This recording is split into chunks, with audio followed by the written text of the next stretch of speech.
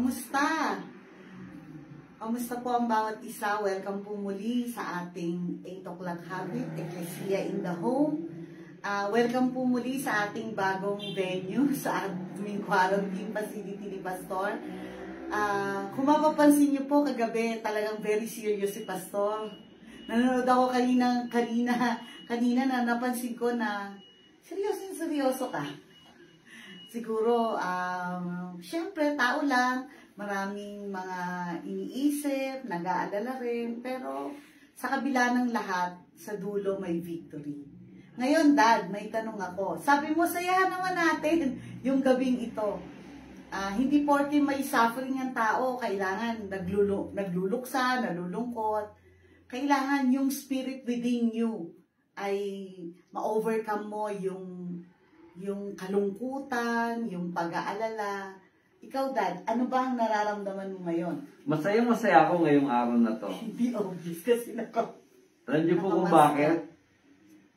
Kasi po, ngayon po ang araw na kung saan nag-propose ako ng marriage kay Sister Ngayon Olive. bukas pa yun. Hindi, ngayon ako nag-propose. Ah. Kahapon mo ako sinagot. Kahapon bukas. On the following day, ah, October 9, sinagot ako ni Olive. 1988. So ngayon, ah, bukas po, magse-celebrate kami ng aming ika 33 na anniversary bilang ah, bilang couple, bilang magsing irog. So, ah, pasensya na si Tart kasi sa loob ng 30 taon, Tatlumput tatlong Tatlumput taon. tatlong taon hanggang ngayon. Consistent ako na hindi ko na paghahandaan yung aming ah, anniversary. Pero babawi na lang ako later on pagka pag pwede na. Okay. Kung napapansin niyo po, naba, na nabasa ko kanina na ma, may nag-comment na masyado pong mahina yung audio.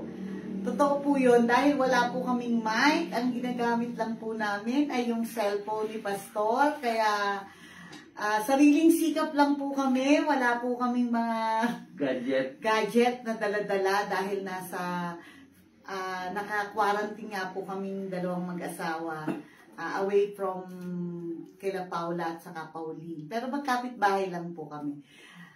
Sige po, magpatuloy po tayo ng pangumusta sa ah, bawat isa. Nakabasa po ako kagabi na si Sister Gladys at yung iba po na nag-personal message of encouragement. Kami po ay tunay na nagpapasalamat sa inyo na yung pong battle na pinagdadaanan namin ngayon ng buong pamilya ay hindi po namin nararamdaman na kami ay nag-iisa. Kami po ay marami ang nakikisama sa amin, nakikijourney sa aming battle na ito dahil kinukonsider nyo po kami na inyo pong pamilya. Napakasarap, napakasarap si type na na maramdaman na sa gitna ng ganitong pag, pagdadaanan mo, may mga taong nag encourage sa'yo, may mga taong nagpapasalamat sa'yo, may mga taong nagte-testimony kung paano ikaw, kung paano daw tayo naging kabahagi ng kanilang suffering sa pagtayo nila.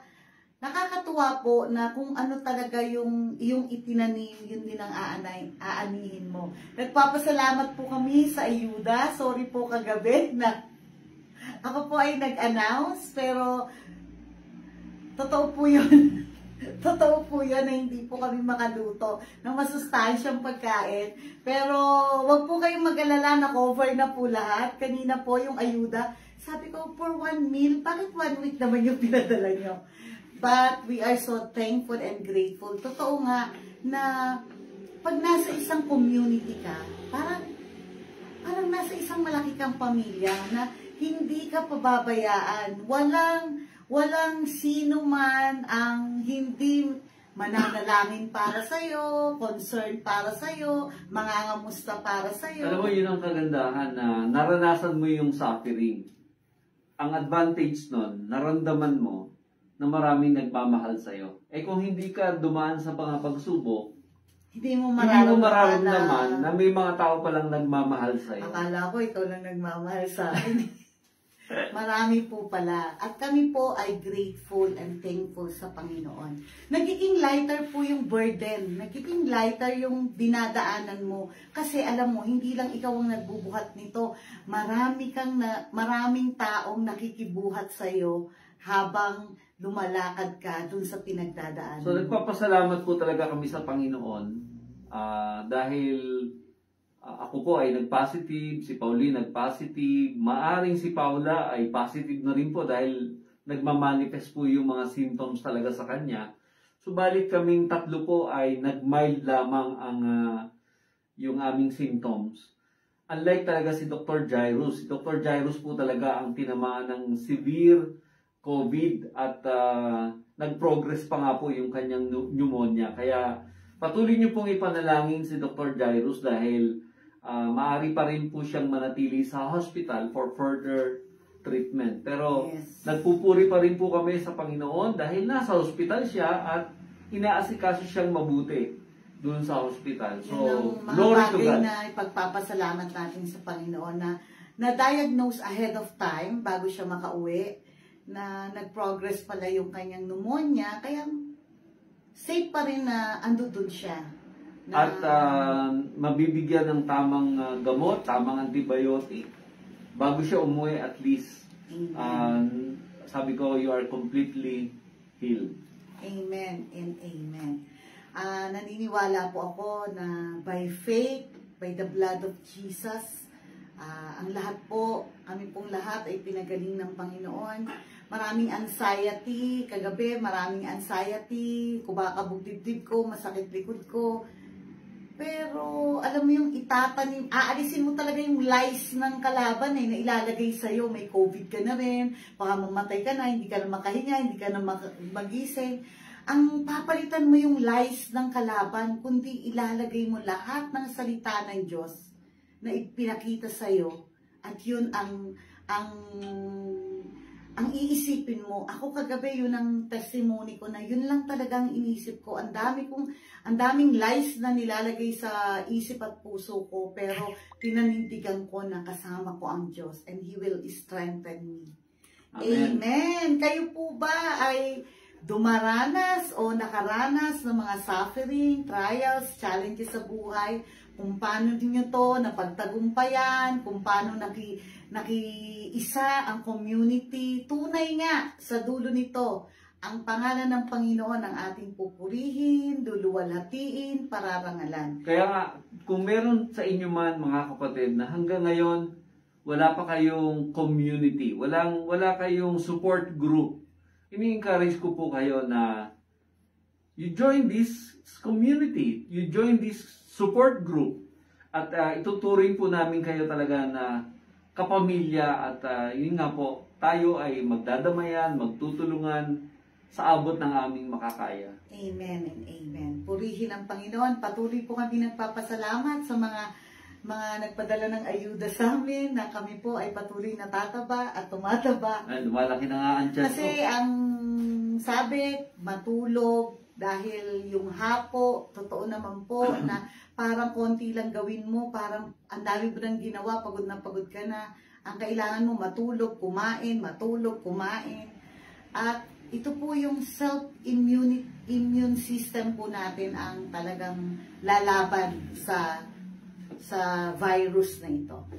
Mag-umpisa na po tayo. Mukhang marami na po tayo na kasama ngayong gabi. Magnalangin po tayo at purihin natin ang Panginoon sa gabing ito. Panginoon, tunay nga, kapuri-puri ang pangalan mo. Tunay nga, ikaw lamang ang aming dadakilain, duluwalhatiin, Amen. Panginoon. Sa lahat ng series ng buhay namin, O Diyos, kasama ka namin. In good times and in bad times, Lord God. Nandiyan ka, hindi mo kami iniiwan, hindi mo kami pinababayaan. Minsan, Panginoon, kahit hindi ka namin nararamdaman, hindi ka namin nakikita. Pero alam namin, behind the scene, you're still working, Lord God.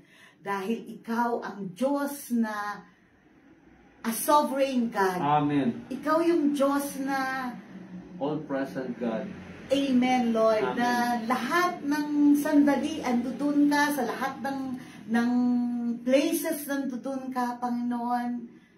Lord, maraming maraming salamat. Thank you for the joy. Thank you for the comfort.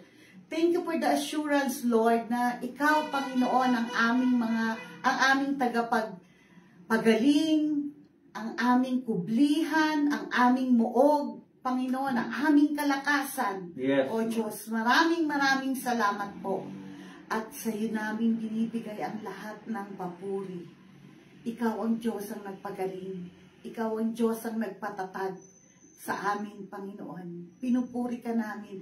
Pagpalain mo po ang lahat ng mga taong nananalangin para Oh, sa yes, amin. Lord. I-bless mo po. I-bless mo po silang lahat. Lahat ng tao na may concern, na nalangin, nag, nag tumulong, Panginoon. Kilala mo ang bawat isa sa kanila. Ikaw po, Panginoon, ang magpala sa kanila. Amen. Ikaw ang tumagpo ng kanilang pangangailangan. Ikaw ang tumagpo at mag-answer, Panginoon, ng kanilang mga panalangin, O Diyos.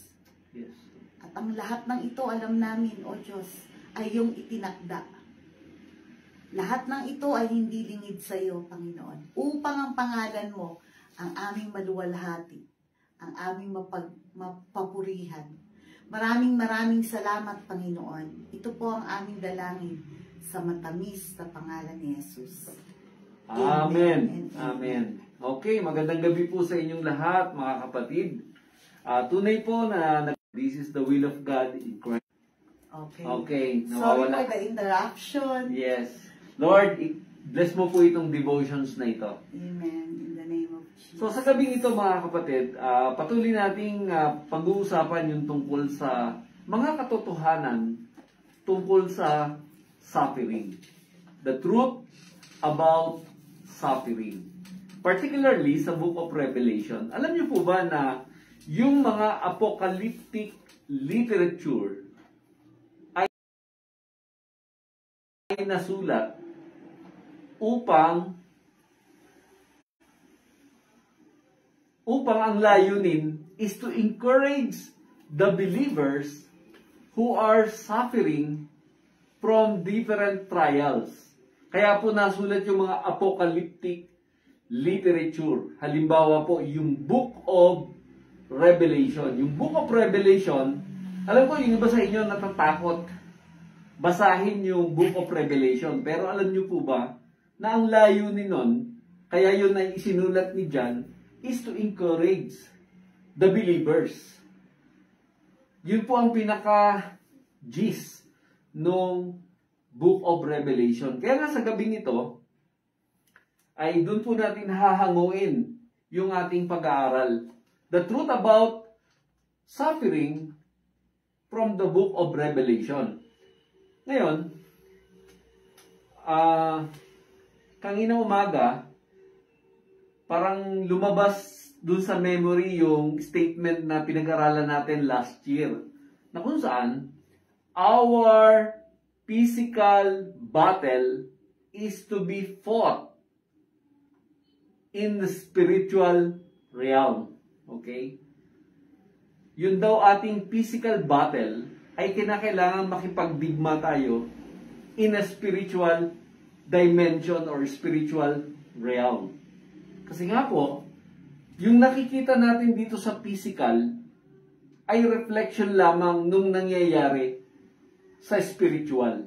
Kaya nga, meron pong spiritual battle that is going on na maaaring hindi natin nakikita ng ating mga mata. Subalit, si Lord, nakikita niya lahat yon. Tayo hindi natin nakikita, pero si Lord, nakikita niya lahat yon.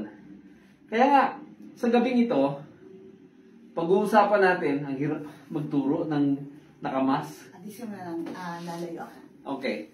So, adisin mo yung sa tayo. sorry po ah. So, we will discuss this evening the truth about suffering. Ilang katotohanan po ang gusto kong bigyan ng diin sa gabi ito. Number one, mga kapatid, sufferings o suffering is a temporary. Okay. Pansamantala lang. Just for a little while.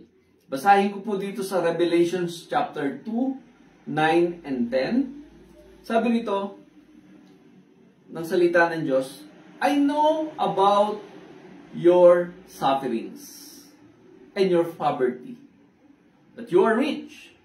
I know the blasphemy of those opposing you. So dito yung alam ni Lord yung nangyayari, no? Alam ni Lord yung mga kahirapan na inyong dinadanas. Alam din ni Lord yung persecution. No, sabi niya, I know the blasphemy of those opposing you. So merong persecution na nararanasan yung mga mananampalataya. They say they are Jews, but they are not because their synagogue belongs to Satan. So makikita natin, ang gumagawa ng persecution ay tao, pero sa likod nun, handon si Satanas para mag-impluensya upang i-oppose uh, or i-persecute yung mga mananampalataya. Verse 10, sabi rito, Don't be afraid of what you are about to suffer. So ito na yung encouragement. Do not be afraid of what you are about to suffer. The devil will throw some of you into prison to test you.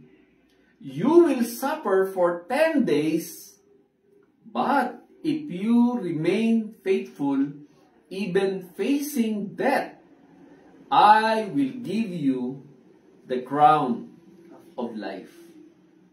So dito, niliwanag po ng Panginoon sa kanyang salita na yung nararanasang persecution ng mga mananampalataya, sabi ni Lord, alam ko, ipipersecute nila kayo. Alam ko, some of you will be thrown into prison. I know that.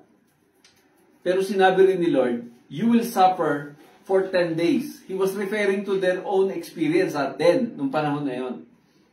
Ibig sabihin nun, yung persecution nila, short-lived lang. Yung persecution nila is just a temporary experience. Hindi yon pangmatagalan meron lamang itong time frame na ibinigay ang Panginoon na sabi niya, ito ay maaari ninyong maranasan. Sa, sa context ng mga mananampalataya na sinulatan ng Panginoon, sampung araw lamang yung kanilang itinakda na magiging uh, persecution nila. Pero sabi rito, but, now, thank God, no? But, if you remain faithful, even when facing death. So nalalagay sa panganib yung kanilang mga buhay, subalit pagsubok lamang yon, no? And if they will remain faithful, then ang pangako ng Panginoon, I will give you the crown of life. Alam ko, yung mga pagsubok natin mga kapatid, hindi ito forever. Okay. Just for a little while. Pansamantala lamang. Okay. Sa maikling panahon lamang. Ngayon, ang problema lang natin mga kapatid, sa Panginoon, pag sinabi niyang just for a little while, hindi rin natin kayang sukatin kung ilang oras, ilang araw, ilang linggo, ilang buwan, o ilang taon yung for a little while ng Panginoon. Bakit po? Eh si Lord nga, hindi gumagamit kasi ng orasan. Hindi siya gumagamit ng kalendaryo katulad nating mga tao. Because God is eternal God. Okay? But, nevertheless, pag si Lord nagsabi na meron siyang itinakdang panahon, mangyayari. Kaya nga, naniniwala po ako, mga kapatid, ang suffering na maaaring nararanasan ng mga mananampalataya is just for a little while. Suffering is a temporary. Halimbawa, itong nararanasan nating karamdaman, hindi ito panghabang panahon na ikaw ay habang buhay na na merong ganyang klaseng karamdaman. Gagaling ka rin. At yun nga, meron din itong hangganan. Itong pandemya na ito, may hangganan din. Kung babalikan natin yung history, Noong panahon ng 1900, okay, nagkaroon din ng pandemya, pero natapos din yung pandemya noong panahon na yon. Okay? Although mayroon pang ibang mga sumunod na iba't iba pang uri ng mga pandemya, pero natapos din yung pandemya noong 1900. Naniniwala po ako na itong pandemic nating nararanasan na ito, meron din po itong hangganan. Suffering is temporary. Pangalawa po, nakatotohanan about suffering. Suffering is a test. Suffering is a test. Pag ba pinag-uusapan, Sister Olive, yung salitang test, ano ba nasa isip mo? Examination. Examination. So, nung estudyante kayo, di ba? Nung estudyante tayo, naalala natin.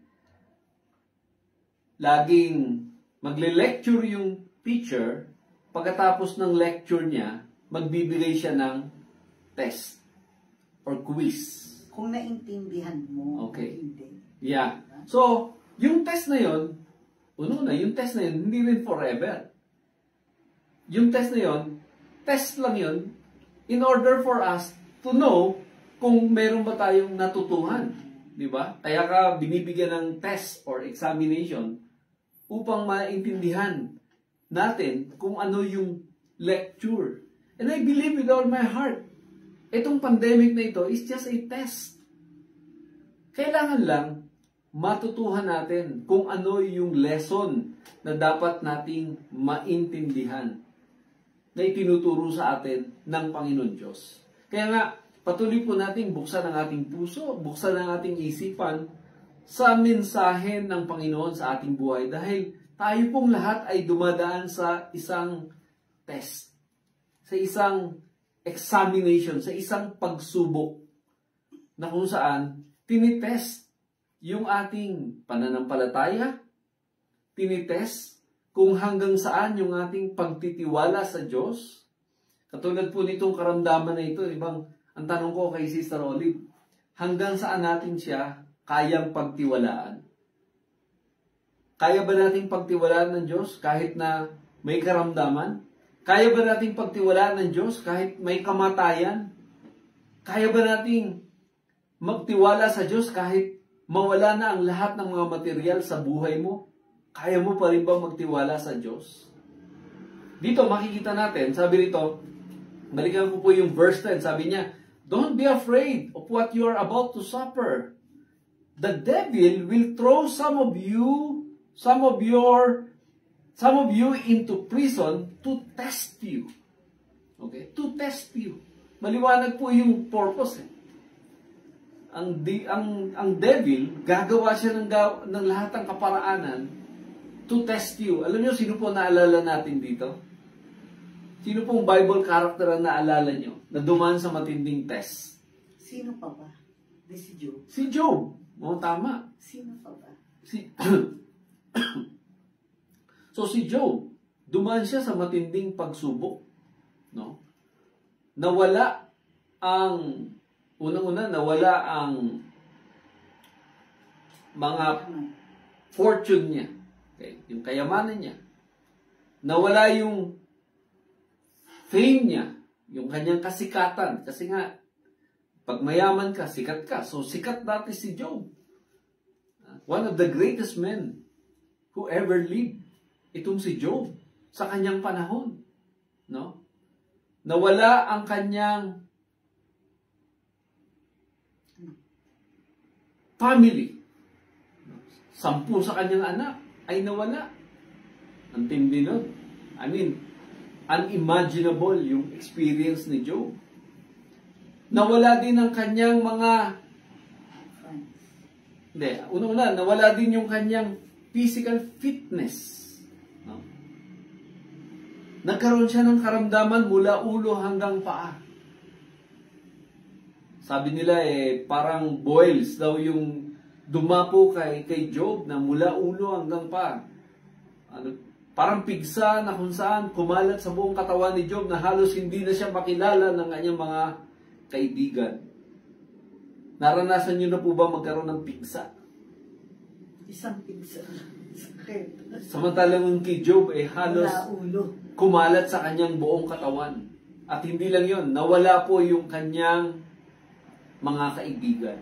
Na sa halip na yung mga kaibigan niya ay dumamay sa kanya, subalit they accuse him na isa kasi Job, kaya ka nagkakaganyan kasi ikaw ay isang makasalanan.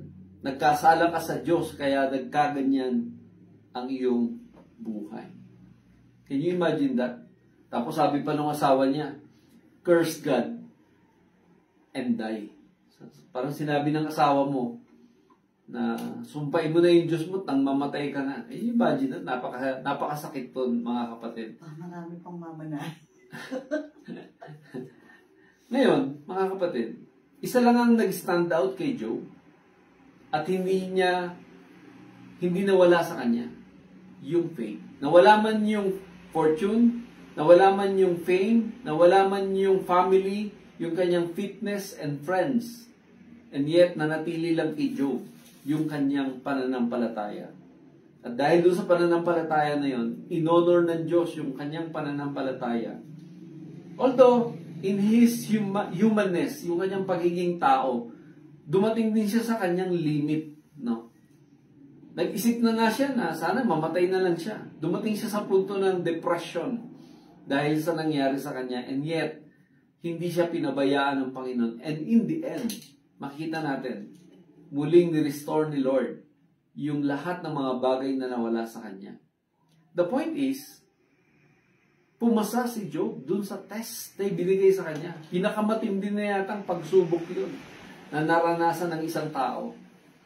Pero, the good thing is, ang Panginoon, kapag pumasa ka dun sa test, may gantimpala, merong reward. Di ba? Pagka ikaw ay nakapasa sa exam, okay, merong reward. No? Una-una, good grade.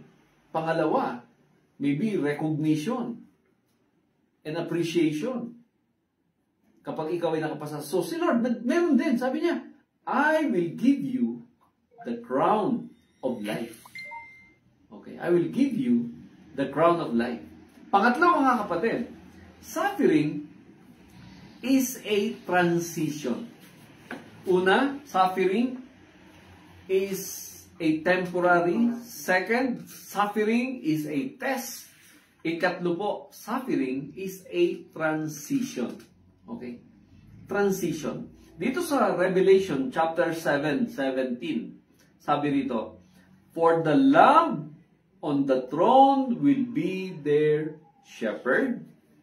He will lead them to spring of life-giving water. And God will wipe every tear from their eyes. Bagamat tayo po ay dumadaan sa iba't ibang uri ng pagsubok, hindi maiwasan na tayo ay handun yung pain, handun yung ating sorrow, anguish, handun yung ating emotional uh, breakdown na kung saan yung emotions natin, hindi natin mapigil na tayo ay naiiyak. Pero ang pangako ng Panginoon, pangako niya, God will wipe every tear from their eyes. Okay. Dito sa Revelation 21 verse 3 and 4, sita, o di pakibasa mga Revelations 21, 3 to 4. I heard a loud shout from the throne saying, Look, God's home is now among his people. He will live with them, and they will be his people. God himself will be with them. He will wipe every tear from their eyes, and there will be no more death, or sorrow, or crying, or pain. And these things are God forever. Amen. There will come a time, mga kapatid, wherein God will wipe every tear from their eyes. There will be no more death, no more sorrow, no more crying, no more pain. All these things are gone forever. How come? Sabi rito, I have heard a loud voice from the throne saying, Look, God's home is now among His people. He will live with them, and they will be His people. God Himself will be with them. Hallelujah. Mga kapatid, kaya itong suffering, eh kailangan lang po nating daanan ito. Pero, wag ho kayong mag-alala. Itong suffering na ito, ang dulo nito, eternal glory with our Heavenly Father. Na kung saan, God's home is now among His people. He will live with them and they will be His people and God Himself will be with them. Hallelujah!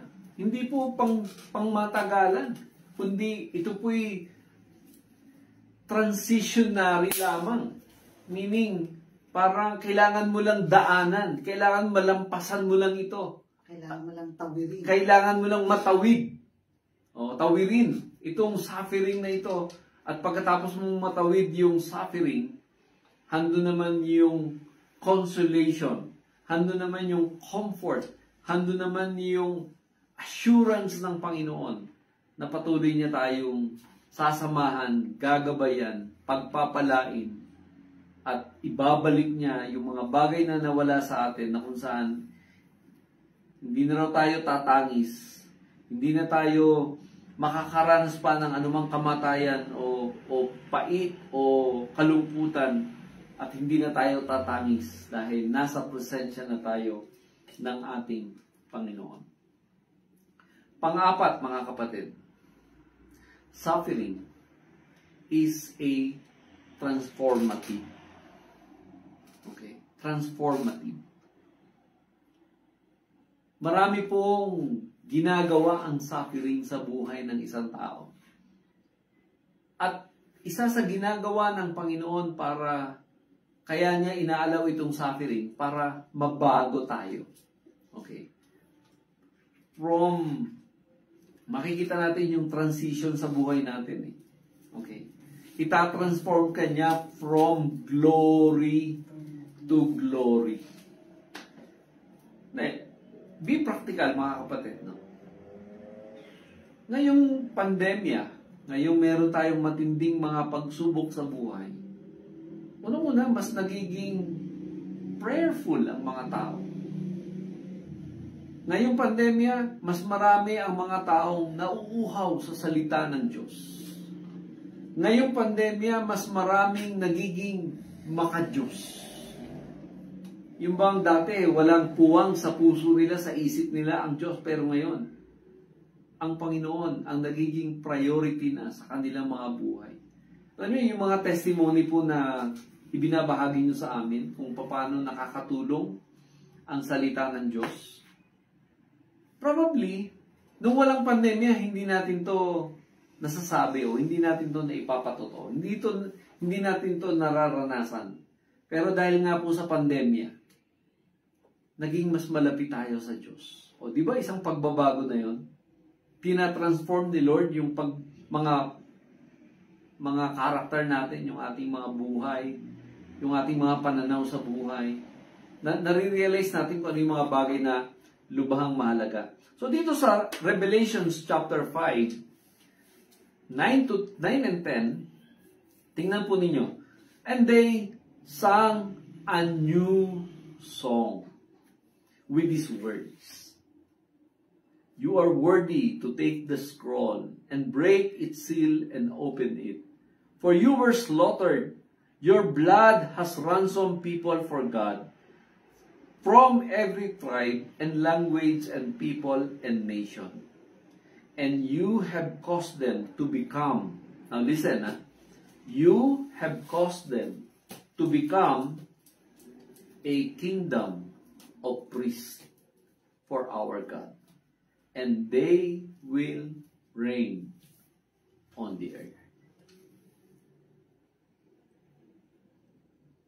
Bagamat ang ating Panginoon ay nag dumaan sa paghihirap, no? Dumaan sa lahat ng uri ng kahirapan. Sabi dito, for you were slaughtered and your blood has ransomed the people for God.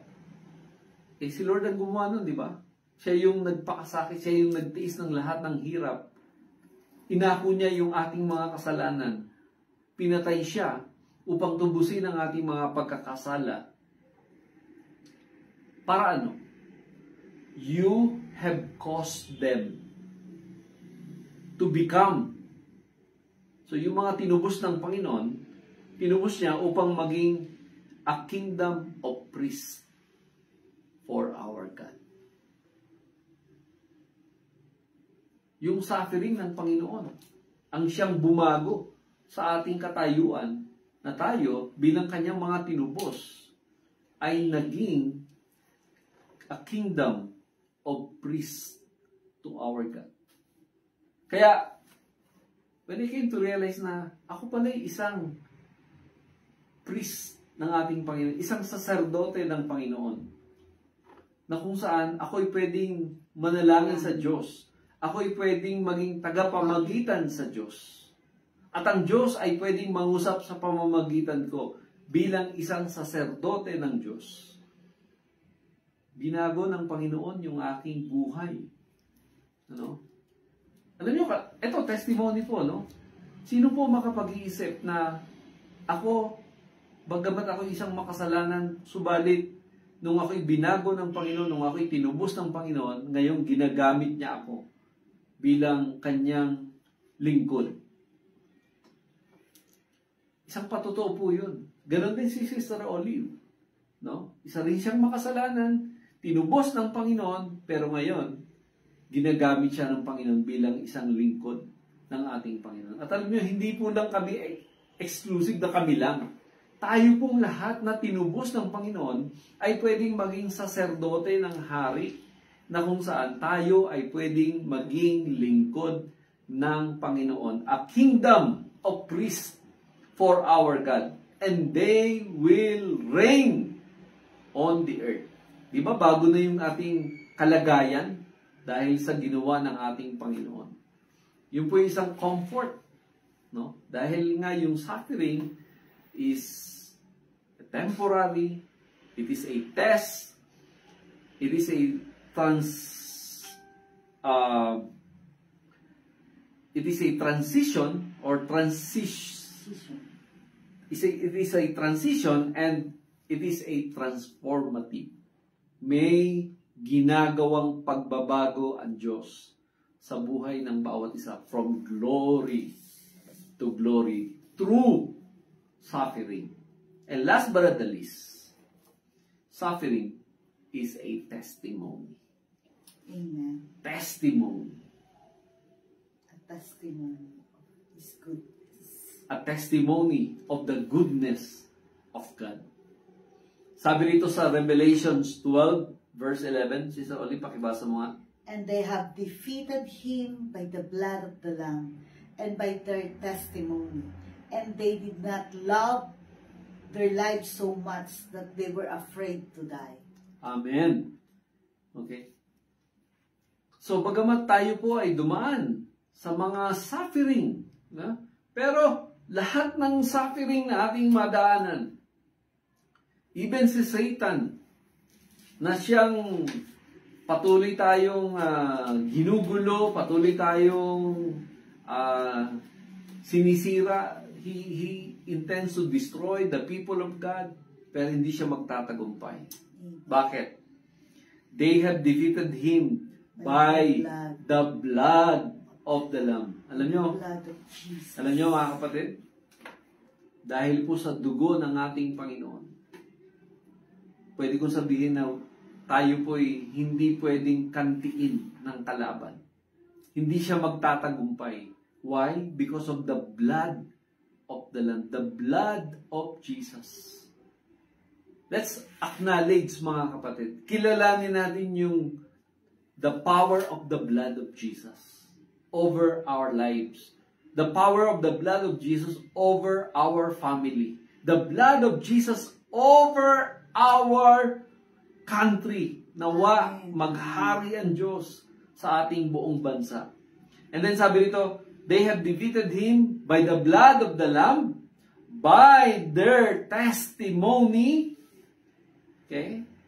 By their testimony, and they did not love their lives so, so much that they were afraid to die.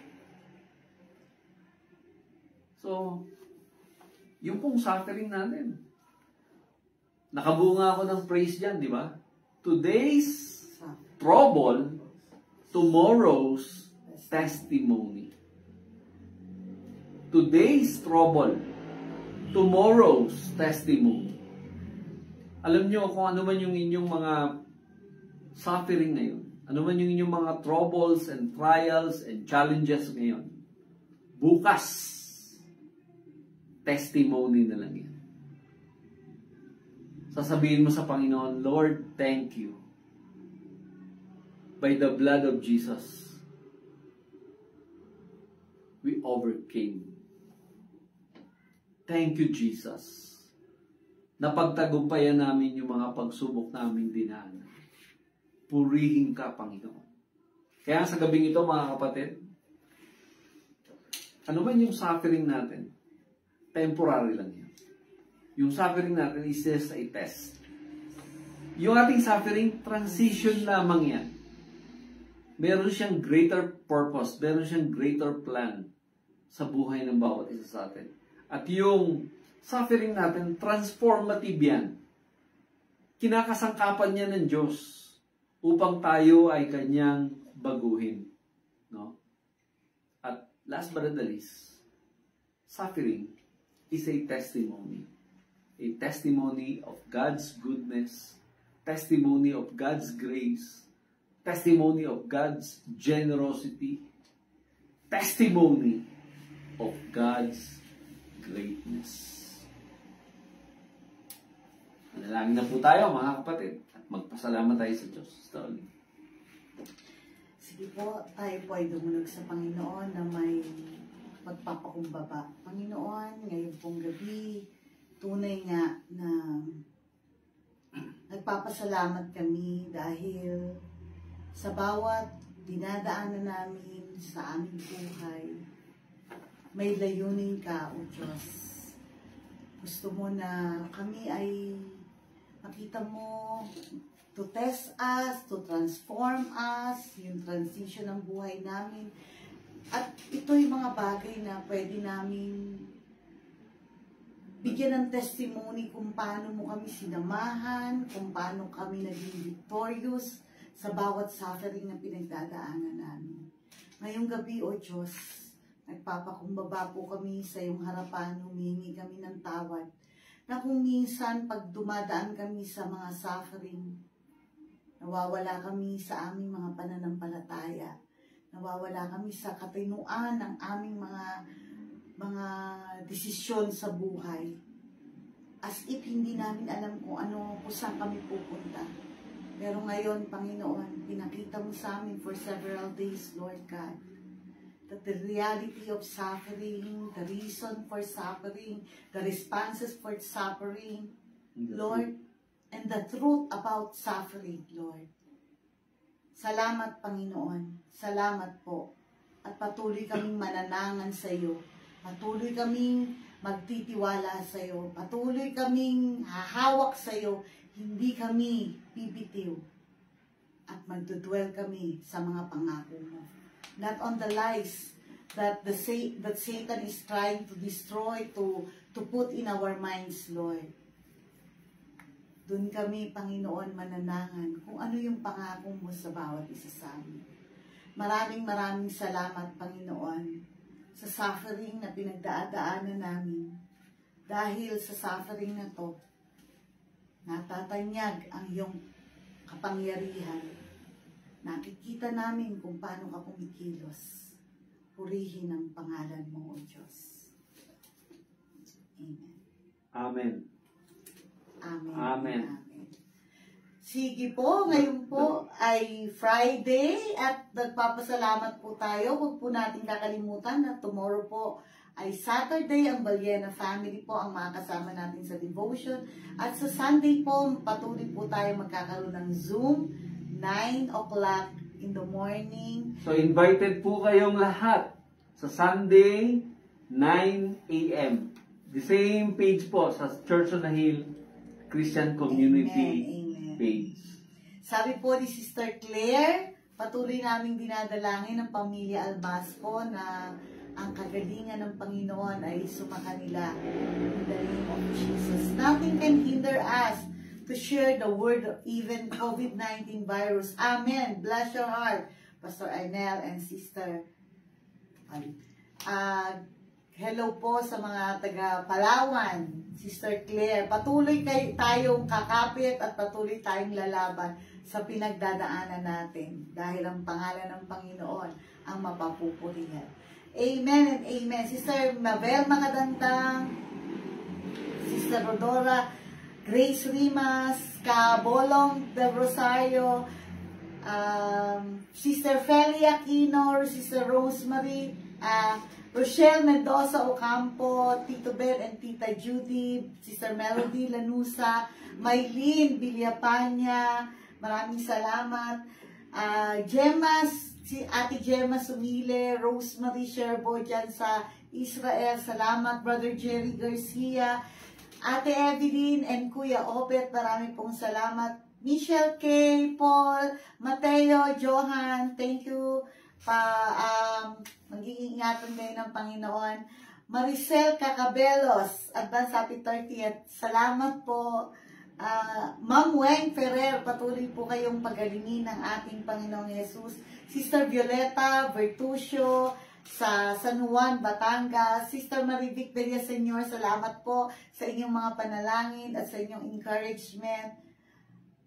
Lolita Rimas, Nani Lagring, Magat, uh, Jen, Jen Tiglao, hello. Hello, Jennifer Tiglao. And then, uh, sino pa? Darwin Centeno. I think kamag-anak ah, mo yes, ito. hello. Welcome.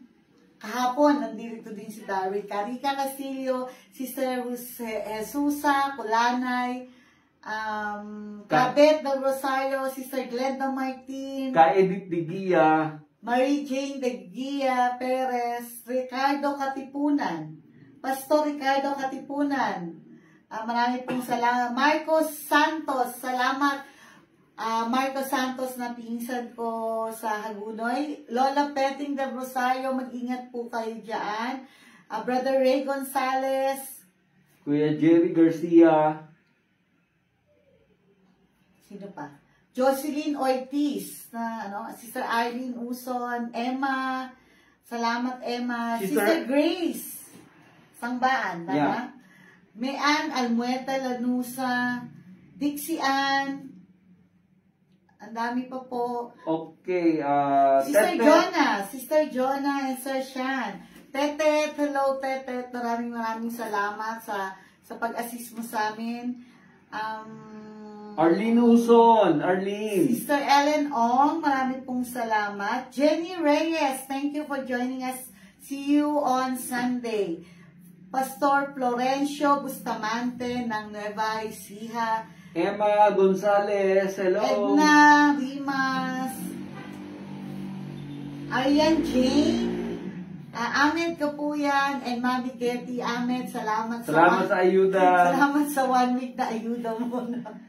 Thank you, and Wilma, thank you so much. And Ate Penny Cyrene Tami, Ing, um, Narisa Aduka, salamat. La, Mami Lenny Rivera, ingatan kayo ng Panginoon. Marlene Manangan, welcome. Marlene Manangan. Earl, ano, Erlin Aringo. Ay, baka kamag-anak nila, Pastor Gilbert. Hello po. Thank you po sa pagsama niyo. I hipag yata ni... Ah, marami pong salamat sa pag-join nyo ngayon. Sister Unisan, Rosemary Sherbo, ah, Nanay Lagrin, and Tatay Cesar. Hello po. Thank you, Sharon, sa iyong mga encouragement. Mamusta dyan. Doktora Rachel Masco, thank you for joining us. Patuloy kang ingatan ng Panginoon. Glad, William and Gwen Galano, Sister Susette and Painado, Akim, Aya, and Nico. Brother Rex, hello, Brother Rex. Thank you for joining Grace, regards to Alric. Hello, Faith, and Jeff Rojas. Ate Che, Pugoon, Ma'am Cecilia, Dr. Eddie. Thank, thank you, Ate Che, sa mga encouragement mo. Jennifer Camero, Carm Rimas, oh, Dr. Jairus, Paulo, My Angel, hello. Sa Rod and uh, Sister Carm. angel. So nagpadala ang anghel eh. Nagpadala ng anghel ng mga prutas. Maraming maraming salamat po sa mga Kuya ah, Kuya Jojo and Ma'am Abel. Thank you for joining us. Sa mga nasa YouTube, Salamat po for joining us. salamat po at Ah, patuloy niyong sinusuportahan itong gawain ito. Huwag niyo pong kakalimutan na mag-share sa mga kaibigan, kamag-anak para maging pagpapala din sa kanila. po. Salamat po. Okay, share, like, follow, and subscribe. Good evening and God bless. Walang mag-o-off. Sariling sikap. Thank you po. Good night. Good evening.